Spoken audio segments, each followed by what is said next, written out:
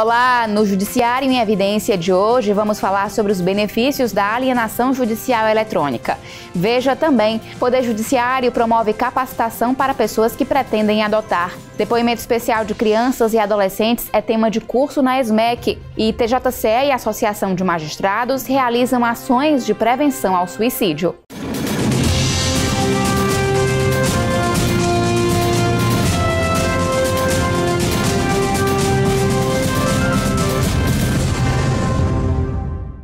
Adoção é irrevogável, ou seja, quando a pessoa decide ser pai ou mãe de alguém, não pode desistir. Por isso, todo pretendente passa por uma série de etapas até concretizar esse desejo. Uma delas é um curso psicossocial e jurídico. Aqui no Ceará, o treinamento obrigatório é promovido pela SEJAI, Comissão Estadual Judiciária de Adoção Internacional. Adalberto e Vanderlúcia são casados há nove anos e sempre sonharam em ter um filho. Após as tentativas de uma gravidez natural não darem certo, o casal optou pela adoção. Moradores de Acarape, eles vieram até Fortaleza para participar da capacitação obrigatória aos pretendentes à adoção e tiveram a certeza de que estão no caminho certo. Quero muito ser mãe, eu tenho muito amor para dar e existem crianças que não têm esse amor. Então eu queria unir as duas coisas. Foi muito claro para a gente, é irreversível. É, adotou, pronto. É, seu sobrenome, é tudo vai junto com você e é para sempre. O amor sempre será um laço mais forte que o sangue. Né? Eu e minha esposa temos muito amor para dar e acredito que na mesma medida temos para receber e a gente aposta na adoção como como possível, né? Que a gente se realize como casal, como com esse desejo forte que temos de ser pai e mãe Filha adotiva, Ana Maria sempre quis retribuir o amor que recebeu do pai. Começou a partir do meu pai, que ele me adotou, adotou com quatro, quatro meninas. Então eu tinha muita vontade de adotar uma criança, independente de poder ter filho ou não futuramente. Casada há 14 anos, a funcionária pública e o marido vieram de Horizonte para fazer o curso e tiraram muitas dúvidas sobre todo o processo de adoção. Tinha muita coisa que a gente não sabia, já estava um pouquinho preparado, mas depois desse curso aí, com certeza vai vai estar mais capacitado, né? Porque não era o que a gente pensava em ter uma criança, isso era só dar carinho, amor, mas é muito mais do que isso. O curso também capacitou pretendentes que vieram de Aquiraz, Caridade, Horizonte, Itaitinga, Itapipoca, Maracanaú, Pacatuba, Paraipaba, Quixadá e Várzea Alegre. Ao todo, foram 14 casais, além de quatro pessoas que optaram pela adoção unilateral. O treinamento ainda contemplou servidores do Poder Judiciário responsáveis por operar o CNA, Cadastro Nacional de Adoção. Quanto aos servidores, foi repassado principalmente é, o gerenciamento do Cadastro Nacional de Adoção em cada comarca, tendo em vista que o Cadastro Nacional de Adoção, apesar de ser nacional, mas ele deve ser gerenciado por cada comarca individualmente. Foi determinado cada juiz é, gerenciar o seu cadastro, nomeando um servidor através de uma portaria, para que ele se responsabilize pela gerência dos dados, pelos cadastros das crianças disponibilizadas para adoção naquela comarca e também o cadastro dos pretendentes à adoção, a vinculação e, enfim, o gerenciamento dos dados no cadastro. Já os aspectos legais da adoção foram esclarecidos pelo promotor de justiça Daírton Oliveira. Principalmente aquilo de toda a documentação que eles precisam apresentar para eles saberem por que dessa documentação o porquê da certidão criminal, o porquê da certidão civil e principalmente o que a gente espera deles. Toda essa preparação, as fases da adoção tardia e assim como também os direitos que eles têm, que eles precisam também se fazer exigir para que as adoções possam acontecer. A capacitação ocorreu no dia 21 de setembro e foi realizada pela SEJAI em parceria com o Ministério Público Estadual e grupos de apoio à adoção. Ainda este ano, pretendentes de Tauá e Barbalha serão contemplados com o curso. A ESMEC, Escola Superior da Magistratura do Ceará, promoveu capacitação em depoimento especial de crianças e adolescentes que são vítimas ou testemunhas de violência. A juíza Cat Brown, coordenadora da Infância e Juventude no Tribunal de Justiça de Mato Grosso do Sul, conduziu o treinamento ao lado da psicóloga Rosa Pires e da assistente social Doêmia Ignez Sene, coordenadora de apoio às articulações interinstitucionais. Elas trataram da lei que normatiza e organiza o sistema de garantia dos direitos dos jovens vítimas ou testemunhas de violência, como ser assistido por profissional capacitado e ser ouvido durante escuta especializada e depoimento especial. A magistrada salientou que cada instituição tem um papel importante nesse trabalho para minimizar os traumas da criança e do adolescente. Disse que desde 2013, quando Mato Grosso do Sul começou a trabalhar o tema, 254 profissionais, entre psicólogos, assistentes sociais, pedagogos e analistas judiciários, foram capacitados. Atualmente, todos os municípios do estado têm equipes preparadas e a avaliação é positiva. O mais importante que nós observamos é que diminuiu a revitimização das crianças. Então, elas são recebidas no Poder Judiciário, no ambiente acolhedor, têm um tratamento mais humanizado e isso diminui muito o trauma que elas têm por ter que repetir essa experiência dolorosa. Então, nós temos uma pesquisa de satisfação que nós eh, fazemos após cada depoimento e, e praticamente 100% do, das crianças e adolescentes que são ouvidas dizem que se sentem melhor depois que foram ouvidas desse modo. A juíza Ilna Castro, titular da 12ª Vara Criminal de Fortaleza, que é especializada em crimes contra a dignidade sexual de crianças e adolescentes, ressaltou a importância da capacitação. É importante porque cada profissional vai saber como lidar com cada caso. Existe assistente social e, e psicólogas que a vítima, ao chegar no fórum, elas vão ser acolhidas. Eu tenho aquele maior cuidado em indeferir perguntas inadequadas feitas pelo o, o promotor, mesmo o defensor do réu.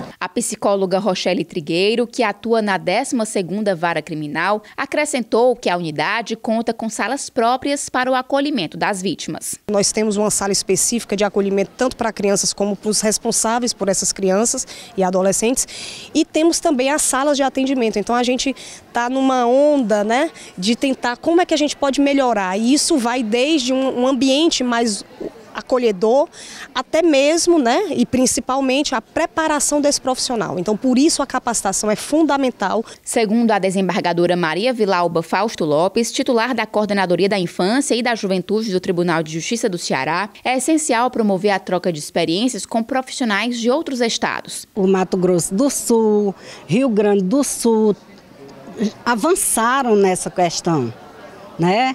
É Pernambuco, são, na verdade, são, são justiças que se anteciparam à lei. Né? Elas já, já vinham desenvolvendo esse trabalho.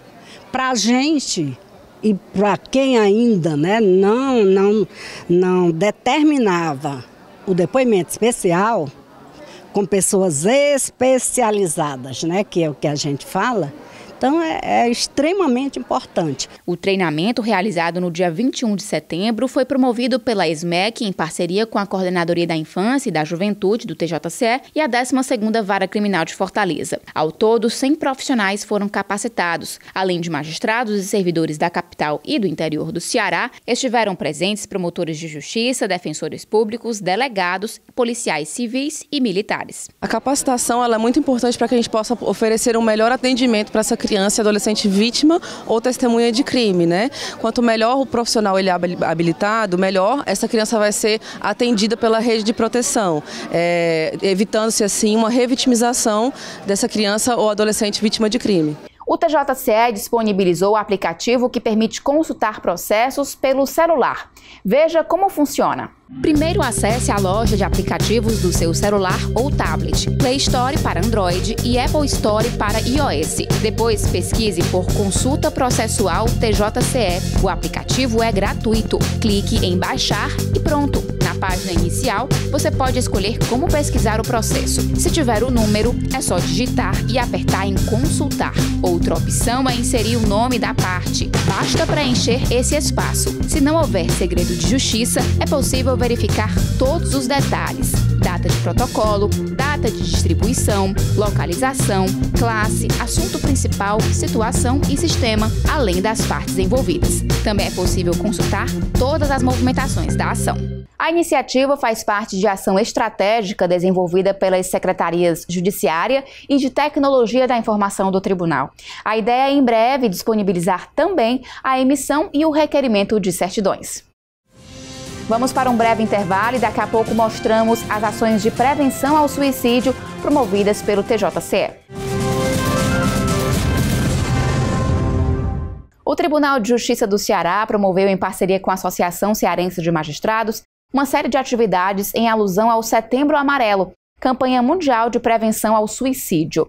A programação envolveu colaboradores do Poder Judiciário e estudantes de escolas públicas de Fortaleza. Os números apresentados pelo psicólogo José Carlos Xavier são alarmantes. Todos os dias, 32 pessoas são vítimas de suicídio no Brasil. No mundo, são 800 mil mortes registradas por ano. Depressão, dependência química e situações momentâneas que despertam forte carga emocional estão entre as causas que levam a pessoa a tirar a própria vida. Por isso, o especialista conversou com 200 alunos de escolas públicas de Fortaleza e servidores do Poder Judiciário sobre como lidar com frustrações. Ele explicou que desde o nascimento o ser humano passa por decepções e é necessário aprender a vivenciar essas situações de outra forma para chegar a um objetivo. De um tempo para cá, nós não temos mais é, esse aprendizado de como se lidar com essa frustração. Se a gente entrar num outro ponto de vista, um outro viés,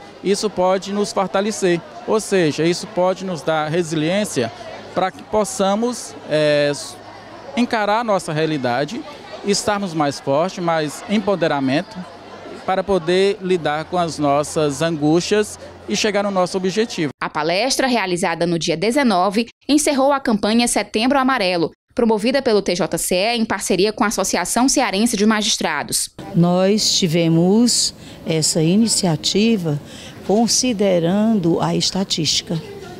E para mim, ao meu sentir, nós somos um grande hospital social. E esse acolhimento é importante, porque quando o jurisdicionado, o senhor ou a senhora de qualquer idade aqui vem, ele vem em busca, no mínimo, de uma palavra amiga. E para nós, magistrados, promotores, defensores, servidores, nós estamos aqui para servir. O tribunal foi muito feliz, a associação apoiou plenamente, apoiará qualquer iniciativa nesse sentido, de conversar com a sociedade sobre um mal, né, que é o, o suicídio, depois que é o final aí talvez de uma depressão aguda, que as pessoas às vezes têm ainda uma certa um certo preconceito de tratar, um, um, certo tabu de falar, e nós estamos discutindo isso de uma forma muito transparente, à luz do dia, no Tribunal de Justiça, no Fórum Cláudio Bevilacqua, e a magistratura sempre estará presente nesses momentos. Alex Viana, diretor da Escola de Tempo Integral José Carvalho, ressaltou a importância da iniciativa do Poder Judiciário. É imprescindível que a gente tenha ações dessa natureza, né, até porque nós vivemos hoje uma sociedade doente, parece até meio clichê, mas é o que nós observamos hoje né? as pessoas muito preocupadas em dar conta das demandas do dia a dia para se manterem e aí deixando muito de lado as relações, né? o que realmente é importante enquanto existência né? humana. As ações da campanha Setembro Amarelo começaram no dia 13 no Fórum Clóvis Bevilacqua, com palestra da psicóloga Cibele Gadelha. Ela conversou com 100 alunos da Escola Municipal Professora Terezinha Ferreira Parente sobre o tema Dito por Não Dito, quebrando paradigmas, o encontro em prol da valorização à vida. A especialista ressaltou que é necessário mostrar aos adolescentes que eles podem e devem conversar sobre o que sentem. Durante muito tempo esse assunto foi considerado um tabu e muitas pessoas elas iam acreditando que sofrer é coisa de gente fraca, que chorar é coisa de gente fraca, que problema de adolescente é besteira. E esses adolescentes eles estão construindo a personalidade deles, é o vir a ser, é o nosso futuro. Então nós precisamos sim conversar com eles e mostrar que eles precisam se abrir, que eles precisam mostrar o que eles sentem e ter uma melhor relação com a família, com os amigos. Já no dia 14 de setembro, a ação ocorreu no TJCE. 200 alunos de três escolas da rede municipal de ensino assistiram à palestra Prevenção e Estratégia de Ação em Crise Suicida, proferida pelo Major Edi Paixão, comandante da primeira seção de busca e salvamento do Corpo de Bombeiros. A gente precisa falar com as pessoas para empoderá-las, para fazê-las mais fortes, para entender as aflições, os sofrimentos, as dificuldades da vida. Eu costumo dizer que a ignorância é mãe da maldade. Então, quando eu tenho educação, quando eu tenho conhecimento, aí eu me torno mais forte. A estudante Maria Clara Savala gostou da experiência. Nem tanto gente fala sobre isso, explica. Então é uma coisa assim que ainda tem muito tabu em cima. Então eu acho isso perfeito e acho que deveriam acontecer mais vezes. A servidora Carmen Prado elogiou a campanha de prevenção ao suicídio. O tribunal é parte da sociedade, não é? Então ele tem a obrigação e deve é, participar de todas todos os atos sociais, todas as necessidades sociais. E essa agora é uma necessidade. A programação também contou com apresentações do coral do Poder Judiciário e dos alunos das escolas participantes.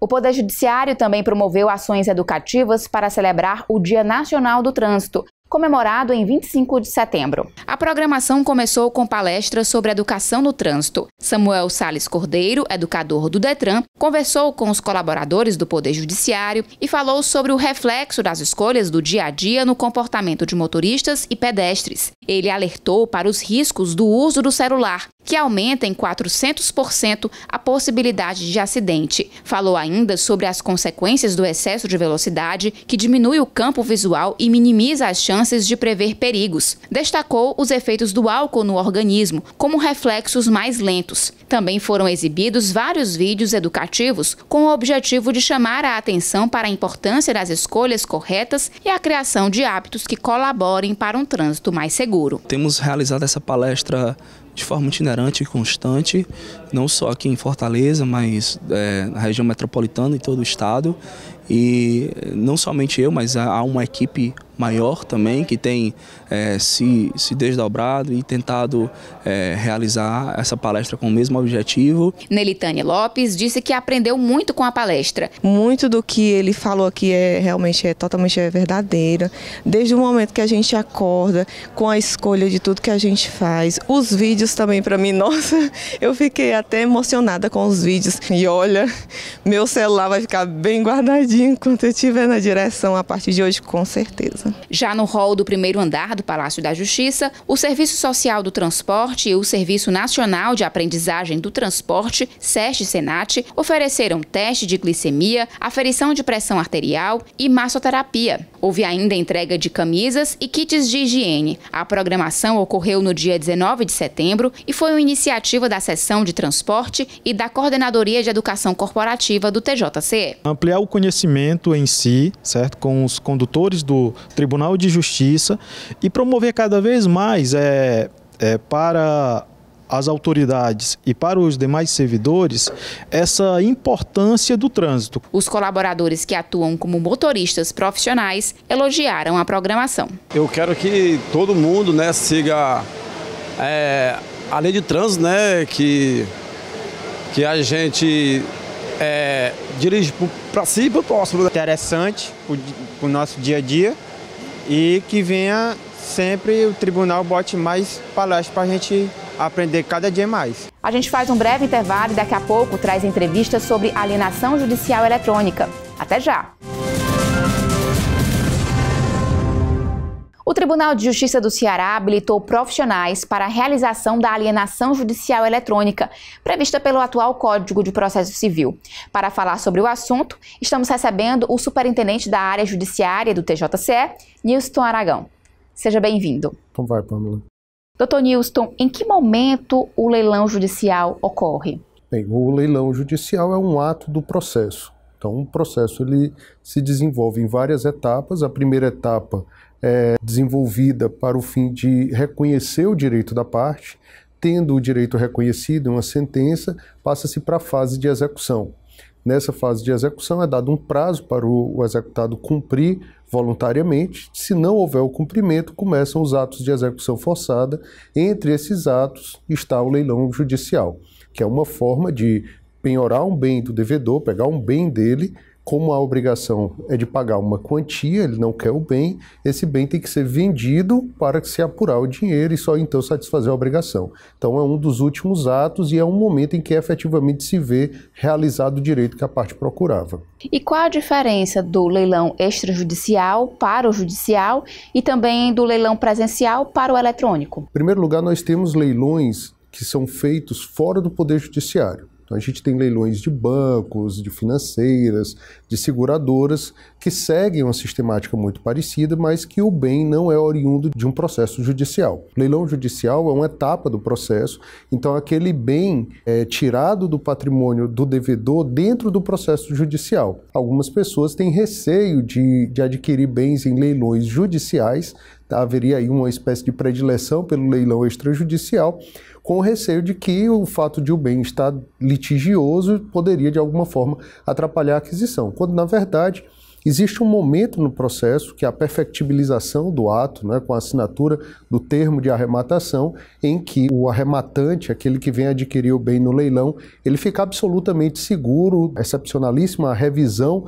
dessa aquisição. Então, é uma via tão ou em algumas situações até melhor do que o leilão extrajudicial. Vale muito a pena investir no leilão judicial. E o presencial para o eletrônico, o presencial exige deslocamento, tem um, um, tempo determinado muito curto, e o leilão eletrônico, como ele ocorre pelas, pela internet, né, por meio de um aplicativo da, da empresa leiloeira, então nós teríamos aí uma, uma possibilidade primeiro lugar, de participação mais ampla, e também o leilão se desenvolve por um período maior, definido pelo juiz, juntamente com o leiloeiro, em que aquele bem vai estar disponível. Você pode apresentar um lance pelo celular, pelo computador, aquilo em tempo real é colocado na disputa e você pode acompanhar e ficar superando aquele lance durante o período de, de abertura. Só destacando que nós temos é, realizações de leilões mistos em que ele começa eletrônico, mas quando está naquela data final, ele se realiza presencialmente e da mesma forma quem está na sala do leilão pode apresentar e aquilo é jogado na, na internet, no site e a disputa ocorre simultaneamente. Quantos leiloeiros e corretores públicos foram habilitados e como se deu a seleção? O Código de Processo Civil regulou a matéria de maneira bem geral. O, o CNJ elaborou uma resolução trazendo diretrizes um pouco mais precisas. O próprio TJCE também editou a sua resolução, tratando ainda de especificidades mais é, peculiares da nossa situação. E aí, a partir daí, foi publicado um edital, e do edital começaram o, a, as empresas a apresentar o seu pedido de habilitação. Esse processo, para garantir a segurança, ele é muito rígido, muito minucioso, com preenchimento de todos os requisitos que estão dispostos na lei, nas resoluções, e aquelas empresas que atenderam a todos os requisitos foram habilitadas. Nós temos, nesse momento, dois leiloeiros é, já com os termos assinados, temos, salvo engano, três corretores, mas temos diversos outros em processo de habilitação. Quais as responsabilidades desses profissionais? Como um ato judicial, primeiro o juiz vai determinar o leilão. Existem outras formas de satisfação da, do bem dentro do processo de execução, como o bloqueio de dinheiro em conta por meio do Bacenjude, a adjudicação de bens. Então, o juiz vai definir o, o leilão judicial, definir alguns critérios de publicidade, escolher o leiloeiro, que há uma rotatividade entre esses leiloeiros credenciados, definir o valor mínimo de arrematação do bem, forma de pagamento, se o pagamento for parcelado, então passa para o leiloeiro. A parte burocrática do processo operacional é toda realizada pelo leiloeiro, desde a elaboração do edital, publicação do edital conforme definido pelo juiz, apresentação dos bens para a parte, realização do leilão, recolhimento dos valores e disponibilização desses valores para o juiz. E quem pode dar lances? A regra é que qualquer pessoa que esteja na livre administração de seus bens pode oferecer lance.